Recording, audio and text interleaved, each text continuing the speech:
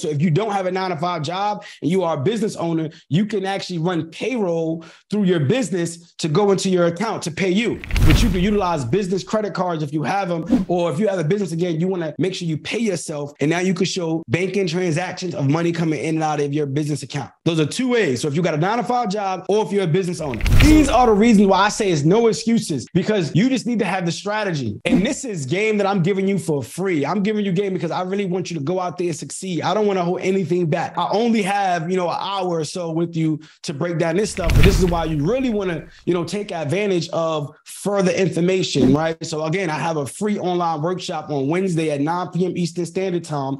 You go to commercialandcredit.com, right? And you can register for my free online workshop. With that workshop, I'll spend about two hours, two and a half hours, and it's still for free.